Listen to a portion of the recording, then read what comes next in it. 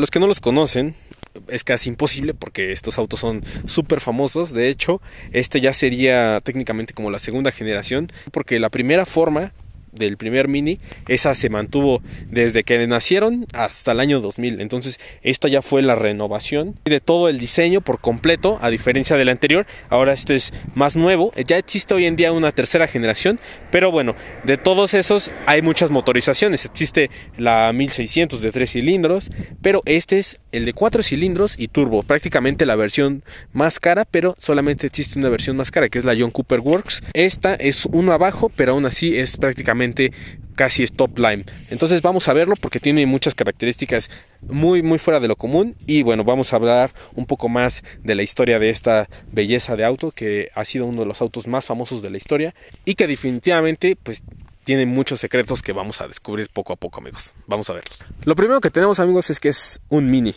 Y literalmente se siente de unas dimensiones pequeñas. Y yo no soy muy alto, yo mido unos 63 y aún así lo veo un poco pequeño. Porque literalmente si está pequeño es solamente de dos puertas o literalmente tres puertas. Porque esta a veces cuenta como tercera puerta. Pero acérquense porque quiero mostrarles algo muy interesante.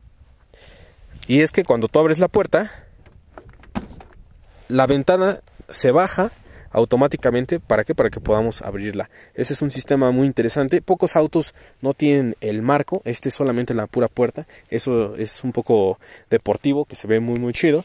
Y bueno miren los interiores de lujo. Ahorita vamos a verlos más a detalle pero quiero que vean las formas. ¿Por qué? Porque son muy especiales. De hecho, tú te subes al auto y no encuentras ningún botón. Solamente esta palanca para abrirlo, bocinas, aquí un pequeño almacenamiento. De hecho, aquí está súper raro porque tiene esto hacia el fondo, entonces se te puede ir, ir algo. O sea, no, no hay espacio más que para abajo. Está súper raro, es un carro de lo común. Y miren las formas. O sea, todo esto es muy muy especial. De hecho, miren, aquí dice airbag porque tiene bolsas laterales. Está muy interesante quiero que vean todo lo especial que tiene adentro este auto, las formas, muy particular aquí el velocímetro al centro, hasta 240 kilómetros por hora, aquí la gasolina, aquí el radio, aquí tenemos un lector de CD, aquí todo el aire acondicionado. Quiero que vean también las formas porque todo, en todos lados vemos estos círculos muy especiales. Aquí tenemos revoluciones por minuto para el conductor, el volante muy particular con los logos de igual manera. Aquí tenemos para el control crucero, aquí indicadores para contestar y para el radio, a ver el claxon. Está interesante. En este caso tenemos la versión manual, que es un poco rara porque casi la mayoría son automáticos. También quiero que vean estas secciones que son como para poner cosas. Este sería el portavasos, amigos, que no, no es tan grande tampoco. Pero quiero que se enfoquen en esta zona. Esta zona es muy especial porque aquí es donde vamos a encontrar los botones que veríamos en las puertas. Este es para las ventanas, ventana izquierda, ventana derecha. Ok, faros de halógeno delanteros y traseros, así como los seguros. Toda esta sección la vemos así como muy de rally, amigos, muy de carreras. También la tenemos arriba, amigos. Pero aquí tenemos otras funciones un poco diferentes. Las luces, estas pequeñas de cada lado, ahí la tienen. Así como también cambio de color de, del interior.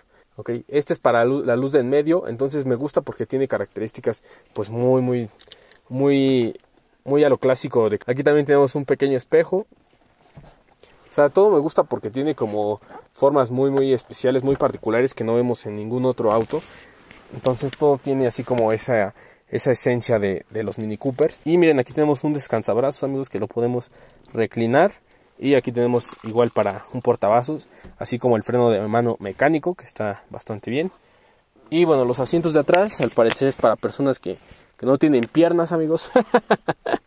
Pero se ven bastante bastante interesantes porque se ve que sí puedes poner ahí la, la silla para un bebé o algo así, o realmente dos. Entonces, bueno, por esa parte está bien. En, en, este caso, como el conductor es un poco alto, pues realmente pues tendríamos que, que hacer el asiento a ver si ahorita son cómodos los asientos de atrás. Vamos a ver. Si quieres acceder a uno de estos autos, que para el pasajero es difícil, aquí atrás tenemos una palanquita especial. Ahí está. Y ahí lo podemos hacer para adelante. Entonces ya te metes ok. Ahí se me aplastarían mis piernas. O no. Ok realmente pues yo no soy tan alto pero sí yo creo que sí yo entro bien en uno de estos vehículos. Pero bueno yo supongo que una persona de unos 70 pues ya no cabría tan tan bien ¿eh? de hecho pues no, no hay tanto espacio para moverte. Y miren esta zona de plástico está pues la sientes de, esta, de este lado que no es tan cómodo pero pues no estorba ¿eh? No molesta. Y miren, tiene, me gusta porque tiene doble quemacocos, amigos. Entonces eso está súper, súper chido. Para las personas de atrás y para las personas de adelante. Entonces sí está bastante panorámico. Eso está muy, muy chido. Y miren, esto es lo que les decía. Para las sillas de los niños está interesante. Y tenemos unas rejitas que estas las vamos a ver en varias zonas del auto. Al parecer también tenemos aquí de este lado unas bolsas de aire, entonces está bastante interesante amigos. Está más pensado para la comodidad pues de los de las personas de adelante que para las de atrás, pero bueno, si quieres eh, llevar a dos personas pues sí se puede, aunque tal vez no van a ir muy cómodas. También tenemos aquí bolsa de aire amigos, también los detalles están muy interesantes porque vienen en tela y en piel, entonces tienen un poco de cubo, entonces eso está padre lo podemos hacer para atrás. De hecho, algo muy interesante es que es prácticamente personalizable de todos lados. Cuando lo compras, lo puedes personalizar todo y tiene un buen de bolsas de aire. Aquí tenemos una, dos, tres y cuatro. Y me parece que también en la zona de los pies también tiene otra bolsa de aire. Entonces está súper, súper seguro, amigos. Y algo muy interesante y que a lo mejor no habían visto o yo no había visto es que miren, amigos. Tenemos espacio, amigos, para guardar aquí un arma. Está muy chido. Gran detalle, amigos, de los de Mini Cooper. Ah, y también tenemos la super guantera, amigos. Eh, ya lo tienen. Ahí por si quieren guardar la Furify, amigos. Ahí les cabe, amigos. y fíjense que cuando lo cierran, ya ven, automáticamente se sella por completo. Eso está muy, muy chido. Y bueno, algo interesante es que tiene unos rines bastante grandes. Me gusta porque tiene llantas 17 y son 205 50 17. Entonces, estos rines los puedes pedir de agencia, puedes pedir una gama entera. Estos son los focos de esta generación, pero la nueva ya viene con unos más grandes y vamos a ver la cajuela. Aquí también tenemos el logo de Mini. Ahí lo tienen. Miren, ahí cabe, no caben muchas cosas, cabe un casco, pero algo padre pues es que podemos hacerla más grande. entonces si necesitas llevar tus cosas, el súper o algo, pues ahí cabe perfectamente. Entonces yo creo que cabe tanto como en otro carro, nada más que si tenemos que modificar estas cosas. Esto lo podríamos quitar también. Eh, pero en sí, pues bueno, también la cajuela es mini, amigos. Pero bueno, lo padre es que pensaron en poderla hacer más grande y pues eso está chido. También un detalle interesante, pues es que al ser este un auto de gama media alta, un poco de lujo, pues tenemos luces, toma corriente, unas redes que ya vienen incluidas en todo esto, un kit de emergencia, ahí lo tienen, de primeros auxilios. Y bueno, en este caso no tenemos llanta de refacción, pero porque ya vienen este con llantas run flat, que son llantas que se pueden ponchar y seguir rodando. Entonces está súper cool.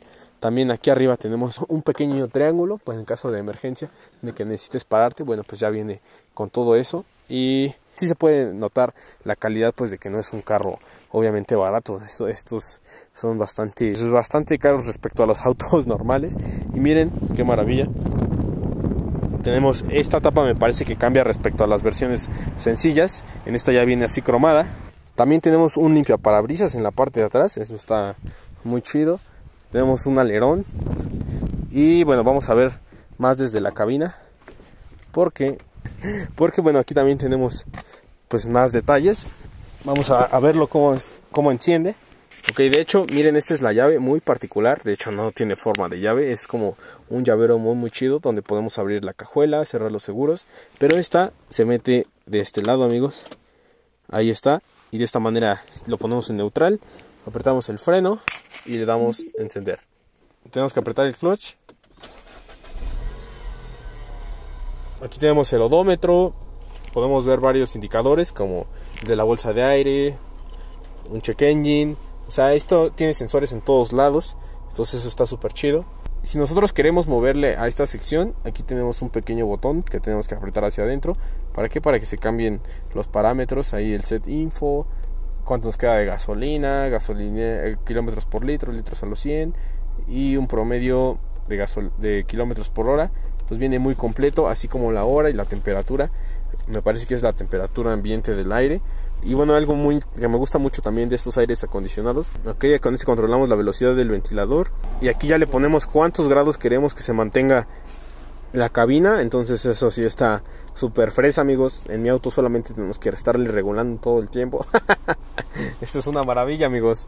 Ok, amigos, vamos a abrir el cofre. Quiero que vean una maravilla. Bueno, esto a mí me encanta que tenga aquí sus entradas de aire. Pero miren, amigos, tiene amortiguadores ya integrados y me gusta porque aquí tiene los hoyos de los focos, entonces eso habla mucho del diseño, entonces eso se ve súper chido. Y miren amigos, este es uno de los motores más grandes que vamos a ver en un Mini, es un motor de 4 cilindros en línea de 1.6 litros turbo, es una maravilla. De hecho amigos, aquí podemos ver el turbo que a pesar de que es Mini, sí entrega bastante potencia este motor.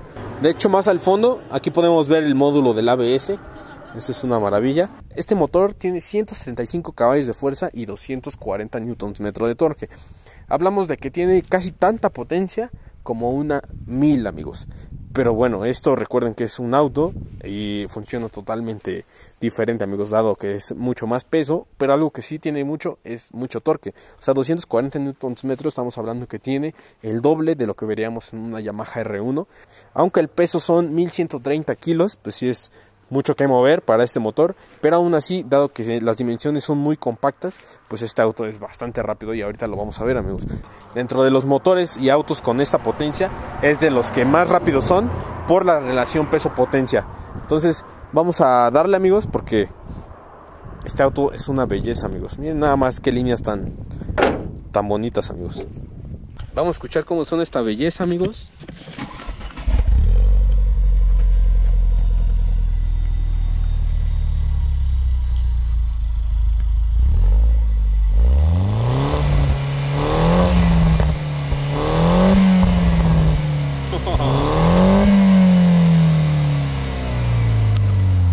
suena bonito, ¿eh? Sí suena bonito. Amigos, estos autos se diseñaron para ser usados también en la nieve, entonces también tienen faros de niebla, tanto adelante como atrás. Y vamos a ver algo muy interesante de los chisgueteros. Ahí está, amigos. Quiero que vean esto, amigos, como ahorita que prendieron el carro, estos faros hacen esto, como que se saludaran, amigos. Tenemos los faros de adelante y también quiero enseñarles los faros de niebla de atrás. O sea, todo esto ya es de agencia, entonces eso está súper interesante. Estos vienen bastante poderosos amigos, entonces en la noche pueden llegar a ser incluso hasta molestos si es que no los usas en la niebla. Entonces Bueno, eso es algo muy interesante que estos autos ya vengan así de fábrica. Y bueno, les digo que las dimensiones son impresionantes. ¡Wow! ¿Vieron eso, amigos? Miren eso, es una locura. Ahí lo tienen, amigos. ¿Vieron cómo se movieron un poco? Ahora vamos a ver cómo funcionan. Miren esa maravilla. ¡Wow! No lo puedo creer, amigos. También rocían aquí el faro, pues por si vas en la niebla, pues que se limpien también. Es una maravilla, ¿eh? Nunca había visto un carro que hiciera eso tan de cerca. Está muy, muy genial. Bueno amigos, ya estamos aquí en la cabina y algo muy interesante es que tiene una palanca aquí para subir el asiento o para bajarlo. Entonces está súper chido porque si no eres muy alto, pues puedes subirte. Aún así la cabina está un poco, un poco rara porque se siente pequeña pero al mismo tiempo se siente grande. Em, está muy interesante todas las dimensiones, se ven muy muy chidas y los acabados pues son prácticamente de primera, a pesar de que son plásticos, pues no se ven de baja calidad. Y de este lado, pues tenemos acabados ya más locos, como por ejemplo, parece como aluminio y metal cepillado. Entonces, sí tiene sus detalles bastante chidos. Y pues aparte recuerden que todo esto se puede personalizar. Entonces, bueno, es una locura. Este auto es turbo. En este momento, no sé si nos va a dar toda la potencia porque no traemos toda la gasolina. Y algo que nos comentaba hace rato el dueño es que sospechamos que cuando se baja, cuando traes bajo el nivel de gasolina, también se baja la potencia. Entonces, bueno, vamos a ver. Algo muy interesante es que es una caja con 6 velocidades. Es muy raro porque los autos normalmente pues traen 5 y este trae 6 y la reversa está del lado izquierdo. Entonces tienes que aventarla hasta el fondo y ahí ya estaría la reversa. Entonces es un poco rara, pero pues interesante, clásica y un poco racing.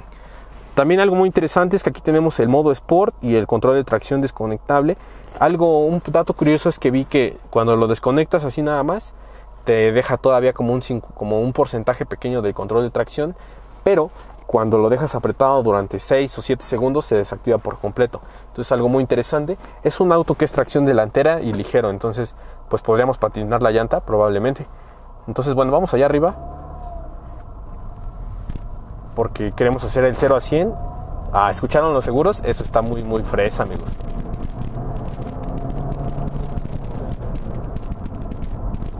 Sí, se siente, se siente poderoso, amigos. Creo que junto a mi auto, todos los autos sienten poderosos.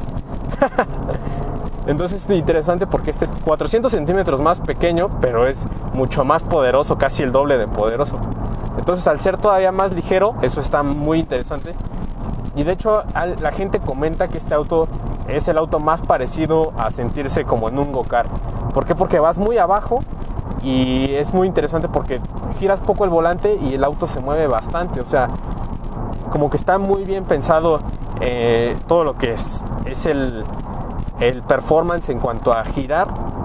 Más que los autos americanos, los autos europeos están pensados para que puedas girar pues fuera de lo común amigos que y gran diferencia que vemos respecto a mi auto que también pues, mi auto ya es más viejo pero bueno este es un auto que definitivamente se siente sport amigos. O sea gira gira muy fácil amigos. O sea puedes girar como 5 grados y ya puedes hacer algo que en el otro tendrías que girarlo 40 grados. O sea es impresionante la precisión que podemos ver. Y vamos a ver aquí los frenos, vamos a apretarlos hasta el fondo. Wow, acaba de salir volando mi GoPro, amigos. Ahí está. Como tenemos ABS, entonces no van a patinar las llantas, pero algo muy interesante de este auto es que tiene los frenos muy, muy poderosos. Y eso está muy chido. Hay una piedra ahí. No, les juro que da un chorro de vuelta, amigos. Con bien poquito que gires el volante, da un chorro de vuelta. Se me hace muy racing que no tengamos eh, el velocímetro aquí. Normalmente en las carreras se dice que no ves el velocímetro, sino que vas con las revoluciones, que es lo que tenemos aquí al frente, y ya la velocidad es como un segundo plano, como no importa tanto la velocidad mientras tú sepas. Eso, eso sí se me hace muy, muy de carreras, amigos. Mientras tú sepas la sensación a la que vas, eso está súper de carreras, amigos. Entonces, tiene buena capacidad de giro. Ahorita vamos a hacer el 0 a 100. Y aunque la marca asegura que son 7 segundos, pues vamos a ver, pues porque estamos a mil, casi 3000 metros sobre el nivel del mar. Entonces, ¿están listos? 3, 2, 1. Ahí está.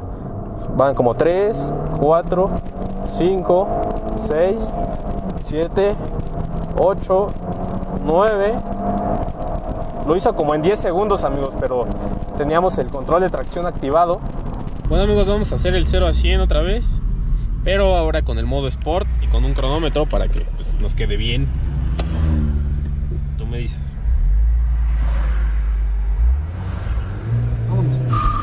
No, no se puede.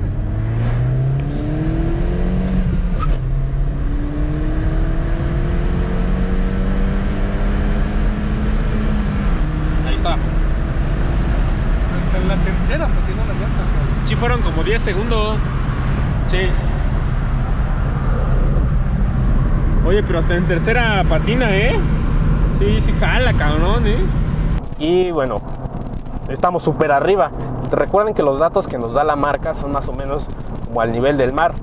Entonces, bueno, este auto es prácticamente el, doble de rápido que mi auto y eso que este tiene un motor más pequeño, pero la diferencia es que es turbo. Entonces eso está muy, muy interesante. No, amigos, de verdad que se siente hermoso manejar este auto. Sea, es súper, súper preciso. O sea, me, me impresiona lo preciso que es, lo rápido que se mueve. O sea, vamos ahorita a 100 y es súper estable. Aunque la cabina sí siento que es un poco ruidosa. No sé si están un poco abiertas las ventanas. Creo que no, ¿verdad? Ok, entonces sí, al parecer sí es un poco ruidoso, amigos. La suspensión es un poco rígida, pero no tanto. Eh, eso también nos puede ayudar al performance que estamos viendo ahorita, que cómo se comporta en la carretera. Entonces, para la ciudad y muchos baches, pues bueno, vas a sentir los baches muchos más, pero también recuerden que son muchos factores. Son la suspensión, son las llantas. Al tener llantas run flat, pues son llantas más rígidas, entonces vas a sentir más los golpes. Pero si te ponchas, pues no te vas a ponchar y vas a poder llegar a tu casa y a donde tú quieras. Es la ventaja de esas super llantas. A lo mejor no tienen tanto performance.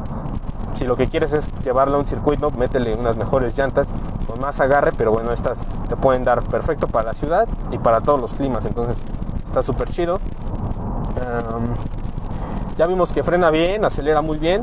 Y ahorita vamos a llevarlo a una zona de curvas para ver cómo se comporta porque eh, sí, sí se siente un poco interesante. La suspensión y el, el- y el tamaño del auto hacen que cualquier eh, pues, variación en la carretera pues se resienta pues en todo el carro. Entonces sí lo siento como te da mucho feedback de lo que está haciendo el auto. Entonces definitivamente la suspensión es dura, sí, Sí, no amigos, de verdad que en las curvas es súper estable y como los asientos son de cubo, pues te agarra súper bien.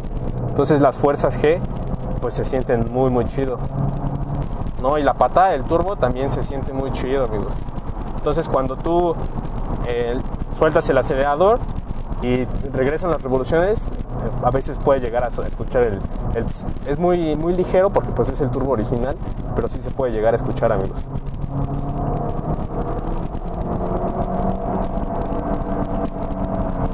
O, amigos, de hecho es, es un motor bastante elástico, ¿eh? O sea, en segunda yo creo que llegas como a 80. Entonces está súper chido. Yo creo que para un día de track day te la vas a pasar muy bien porque pues es un auto que es divertido. Entonces, moverte así de ágil en la ciudad, pues no se sorprendan si de repente ven un mini que pasa así súper fácil entre los carros. Bastante ágil porque bueno, eso es lo que nos entrega este auto. Diversión y, seguridad, bueno, porque pues ya vieron todas las bolsas que tiene, el control de tracción, el ABS. Pues, definitivamente, aunque este auto no es el más nuevo, definitivamente es un auto que tiene pues mucha, mucha clase, mucho estilo y deportividad. seguramente sí, amigos. Definitivamente, me gusta, me agrada. De hecho, no cambia tanto respecto a la nueva versión. Les vamos a traer la nueva versión para que ustedes vean las diferencias. Vamos a hacer un video para que lo comparen en cuanto a los interiores, en cuanto a la potencia, para que lo vean a detalle, porque estos, estos autos mini tal vez no son muy famosos aquí en México, pero la gente que los tiene pues, los ama y les gustan. De hecho, hay motos, motoclubes de una sola marca. Bueno, aquí tenemos autoclubes de, de solamente mini. Entonces sí está muy chido. Ya veo por qué la gente los ama. O sea, sí son autos muy particulares. No es. Yo creo que es el menos parecido a, cualquier otra marca. No solamente por la forma, sino por las sensaciones que te ofrece. O sea, están muy muy chidas, amigos. Recuerden que también, ah, bueno, este auto recuerden que lo podemos ver en varias películas. De ahí es donde yo recuerdo haber visto un Mini. Ahí es donde yo dije, ah, no manches, se ven bonitos. Siempre me parecieron como fuera de lo común porque aquí en México pues no hay muchos. Y hoy que tengo la oportunidad de manejar uno, la verdad es que sí están, sí están chidos, amigos. Son, son autos europeos que la verdad pues no los vamos a ver tan seguido. Amigos, ese fue el review del Mini Cooper S 2009. Recuerden que este es el S y es como de la gama alta. La verdad es que a mí me encantó, amigos. Nunca me había subido a uno.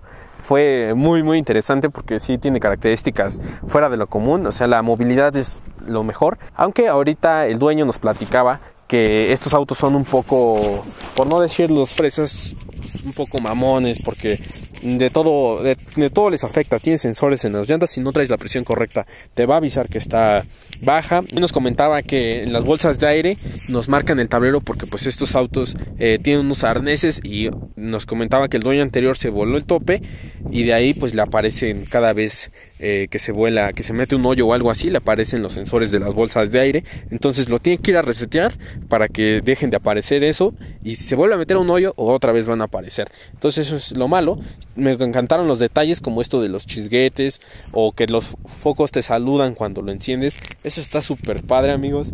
Okay. Este que es 2009 los encuentran alrededor de 150 mil pesos. Y les vamos a hacer yo creo que la comparativa entre este que es la, generación 2 y la generación 3 para que vean las diferencias. Entonces va a estar muy chido ese video amigos. También comenten qué les pareció este auto, si lo tienen, eh, qué les ha fallado. También comenten qué es lo que más les gusta, si en realidad valen la pena. Yo creo que sí valen la pena, aunque sean carros que pues tienen detalles, pues es por toda la cantidad de cosas tan impresionantes que tienen amigos. Eh, yo me compraría uno definitivamente, pero yo creo que yo me lo compraría en rojo amigos, como el de la película. Así que bueno amigos, espero que les haya gustado, comenten y nos vemos en el siguiente video. Bye.